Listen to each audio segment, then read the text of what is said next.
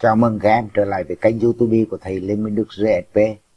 Lời đầu tiên, thì chúc các em gặp nhiều may mắn, sức khỏe và có nhiều niềm vui trong cuộc sống và trong học tập. Đây là kênh dạy học miễn phí hướng đến các giá trị của phương pháp dạy học hiện đại nhằm giúp đỡ hỗ trợ các em học giỏi môn toán từ lớp 6 đến lớp 12.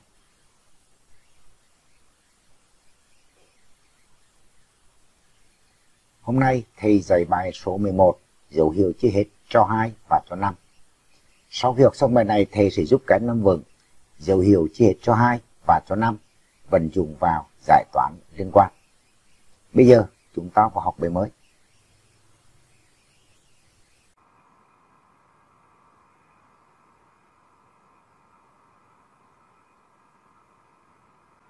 Hôm nay thầy tiếp tục dạy bài 11 dấu hiệu chia hết cho 2 và cho 5 mục một nhỏ chúng ta đi, sẽ đi xét dấu hiệu chia cho hai.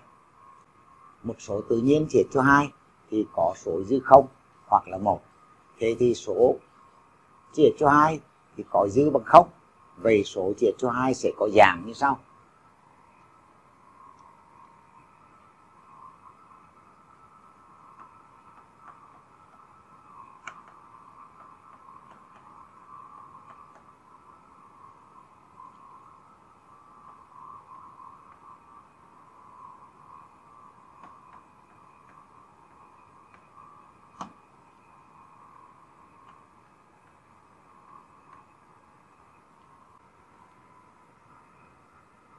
Thế thì khi đó các em thấy k bằng 0, 1, 2, 3, 4, 5, 6, 7, 8, 9, 10 thì các em sẽ được các số này. 0 nhân 2 là 0 này. 1 nhân 2 là 2 2 nhân 2 là 4 2 nhân 3 là 6 2 nhân 4 là 8 chấm chấm chấm.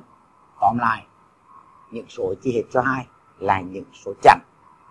Và chỉ có những số chẵn đó mới chia hết cho 2 vậy thì chúng ta có một cái dấu hiệu chia cho hai. Đó là các số. Mà có chữ số tận cùng là số chẵn thì chia cho hai. Và chỉ những số đó mới chia cho hai. Bây giờ các em ghi lại kết luận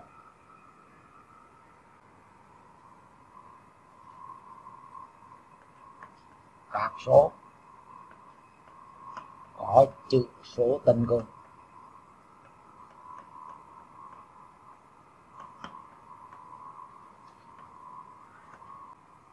Là số chẵn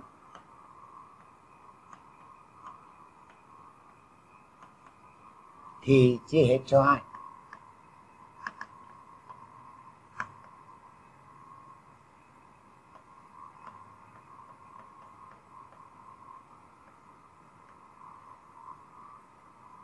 và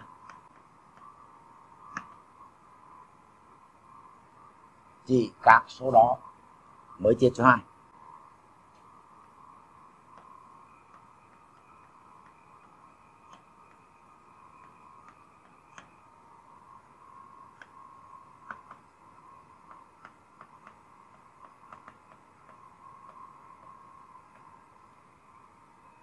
ở đây thì mảnh đề này kém lưu ý này. Các số có chữ số tấn công là số chẵn, thì chia cho hai sau này này, và chỉ các số đó mới chia cho hai có nghĩa là ngoài những số mà số chẵn thì chia cho hai và không còn một số nào khác ngoài số chẵn chia cho hai được? Bây giờ tiếp tục ta làm áp dụng sau. Từ ba số 0 1 2 em hãy ghép thành số tự nhiên có ba chữ số khác nhau. Chia cho hai tức là trong cái số có ba chữ số thì số 0, số 2, số 1 chỉ xuất hiện có một lần thôi. Thì người ta nói là số tự nhiên có ba chữ số khác nhau. Bây giờ các em xếp thì trước hết các em xếp số chẵn. Thì số đó chia cho hai vậy số đó phải có chữ số cuối cùng là số 0 hoặc số 2 đúng không nào? Như vậy chúng ta xếp số chia cho hai mà có số tận cùng là số 0 thì các em sẽ được.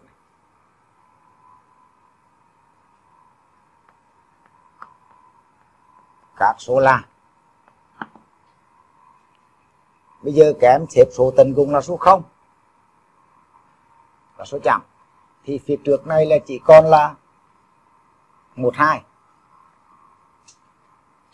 sau đó kém đổi cái một, cái hai cho nhau thì kém được số kế tiếp này. Hai một không.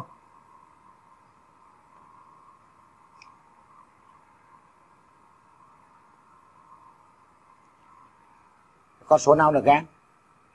bây giờ số chậm là số chia cho 2 thì kém cho số 2 ra cuối. Số 2 ra cuối thì chỉ còn số 1 và số 0 thôi. Đổi 01 có được không? Mà không được, như vậy là mình kết thúc. Có ba số.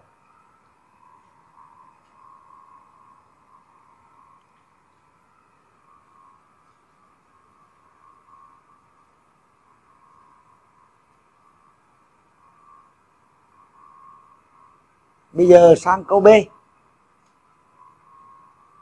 Tổng của hai số sau. 354.671 trừ cho 455 có chết cho hay không? Theo các em có chết cho hay không? Bây giờ các em để ý này. Số 354.671 là số lẻ số 455 là số lẻ thế thì hiểu hai số lẻ là số chẵn vậy, hiểu này chia cho hai vì 54.671 và 455 là hai số lẻ.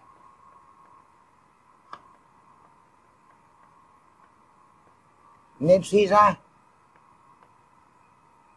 hiểu hai số này.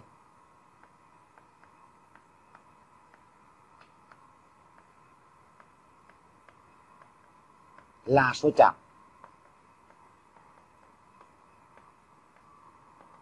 Nên chia cho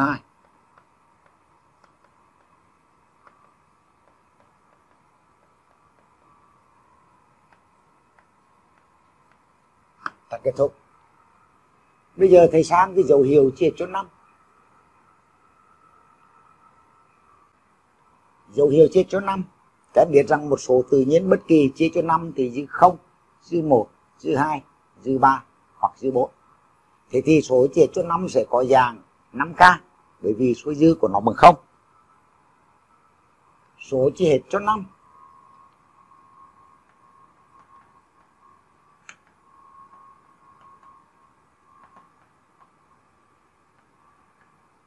sẽ có dạng A sẽ bằng 5K cộng với 0. Vậy thì theo tính chất chia hết của một tổng thì các anh thấy 5K thì chia hết cho 5, không thì chia hết cho 5. Vậy số A chia cho 5. Thế thì khi đó các em cho K nhân những giá trị 0, 1, 2, 3 thì các em sẽ được các số kiểu này này. 0 nhân 5 là 0. 5 nhân 1 là 5, 5 nhân 2 là 10 5 nhân 3 15 5 nhân 4 20 vậy chấm chấm chấm đây là cách đếm của cái trò chơi dân gian mà các em đã từng chơi trong những cái ngày lễ. Thế thì các em thấy là những số này, có chữ số tận cùng bằng 5 này, hoặc bằng không, thì chia cho 5 và chỉ có những số đó mới chia cho 5 vậy từ đây chúng ta kết luận như sau. Các số có chữ số tận cùng.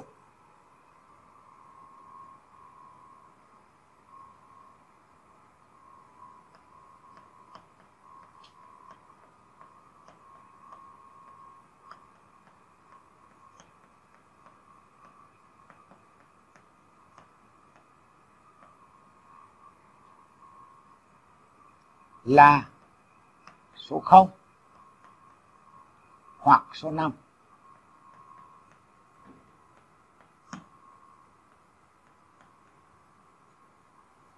Thì chia hết cho 5.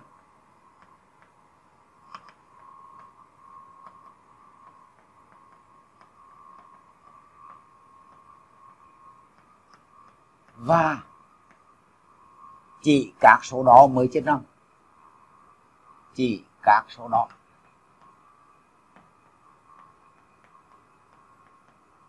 Mới chia hết cho năng.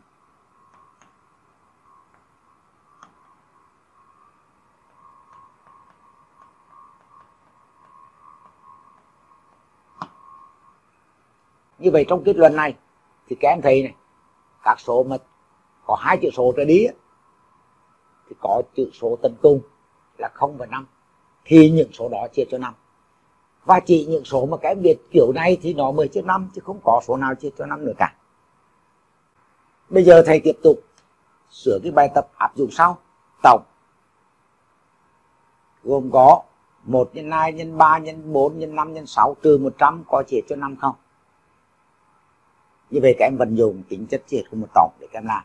Các em thấy trong số hàng thứ nhất là một tích từ 1 đến 6 thì nó có chưa, nó có chứa thừa suốt năm. Cho nên cái số hàng đầu tiên này chia cho 5 100 chia cho năm vậy hiểu này chia cho năm. Như vậy giải ta có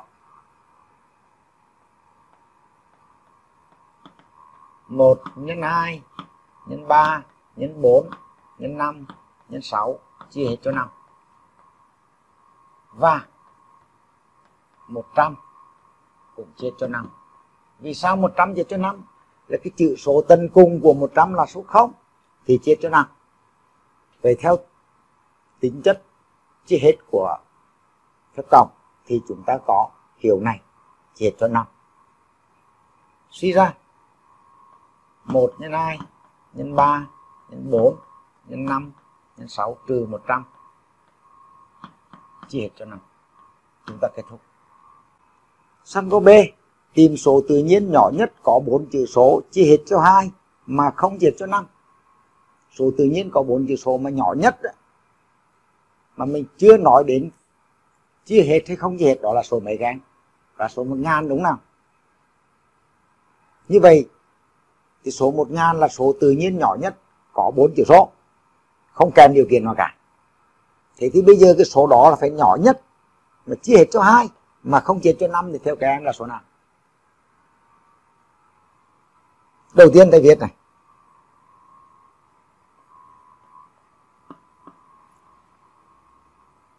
Hàng nghìn phải là số 1 đúng nào?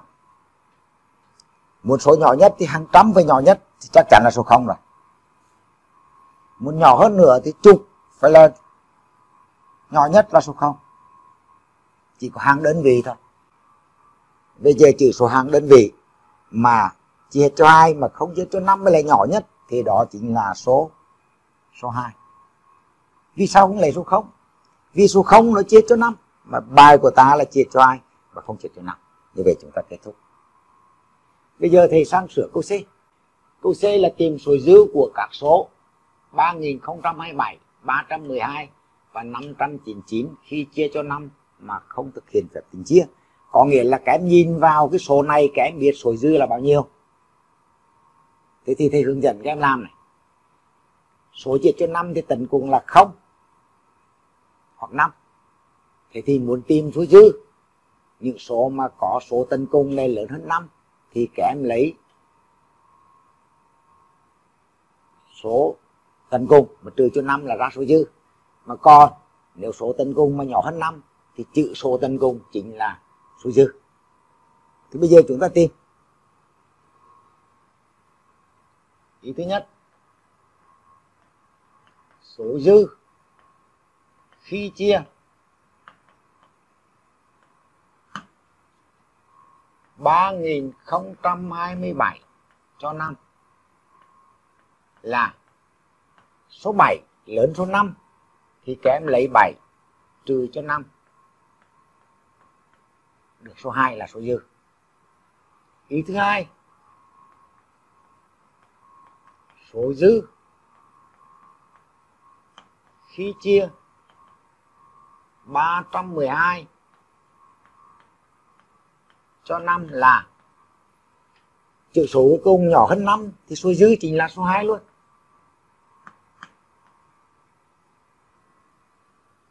Tiếp tục. Số dư khi chia 599 cho 5 là chữ số tấn cung này là 9 lớn hơn 5 thì các em lấy số dư thì bằng 9 trừ cho 5 bằng 4 các em luyện tập thế nào để nhìn vào chúng ta làm cho nó nhanh? Bây giờ sang câu D là câu nâng cao, chứng tỏ tổng của năm số chẵn liên tiếp chỉ hết cho hai và cho năm. Thì trước hết các em phải biết năm số chẵn liên tiếp là năm số chẵn như thế nào trước hết các em phải hiểu là năm số chẵn liên tiếp. Các em có thể liệt kê vài số để thầy thấy này, số 2 này, số 4 này, số 6 này, số 8 này, số 10 là năm số chẵn liên tiếp. Hoặc là bắt đầu số 12 này 14 này 16 này 18 20 đó là năm số chẵn liên tiếp. Thế thì ở đây bài toán yêu cầu là năm số chẵn liên tiếp bất kỳ. Thế thì các em phải gọi số đầu tiên là số chẵn. Rồi số chẵn thì cách nhau hai đơn vị. Về các em tìm số thứ hai và cứ như thế chúng ta viết số thứ ba. Bây giờ thầy trình bày lời giải. Gọi năm số chẵn liên tiếp là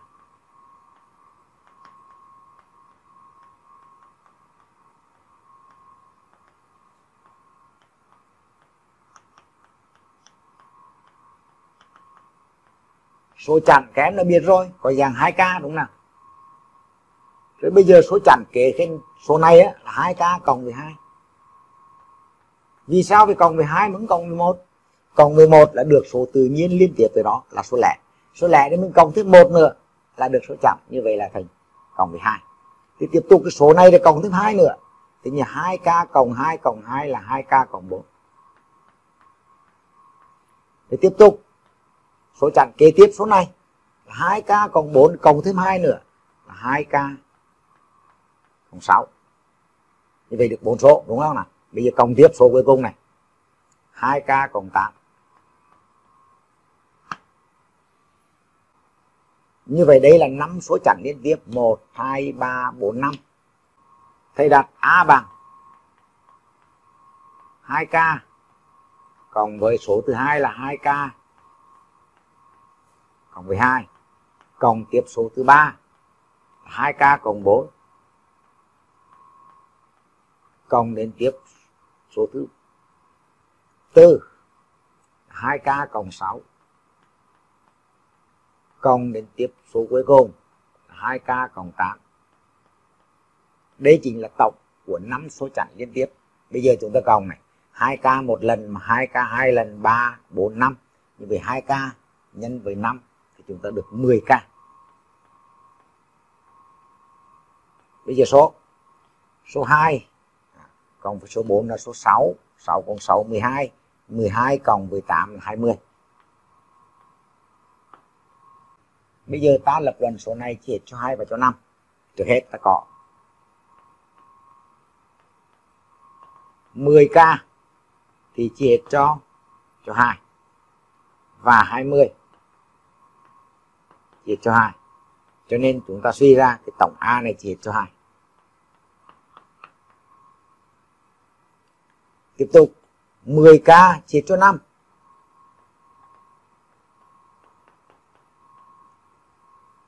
vì trong 10k này là có số 5 nhân 2 là 10 thì 5 chia cho 5 hết các em và 20 thì chia cho 5 cho nên chúng ta suy ra 10k cộng với 20 chia cho 5 hay nói cách khác, A chia cho 5 vì từ A chia cho 2 và A chia cho 5 thì ta sẽ suy ra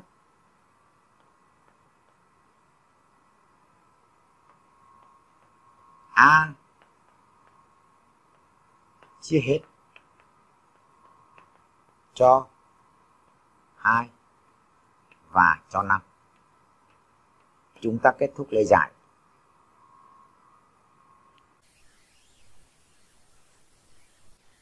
Như vậy qua bài học hôm nay, các em cần nắm vững dấu hiệu chia hết cho hai và cho năm Đây là hai kiến thức cơ bản nhất mà các em cần phải nắm được.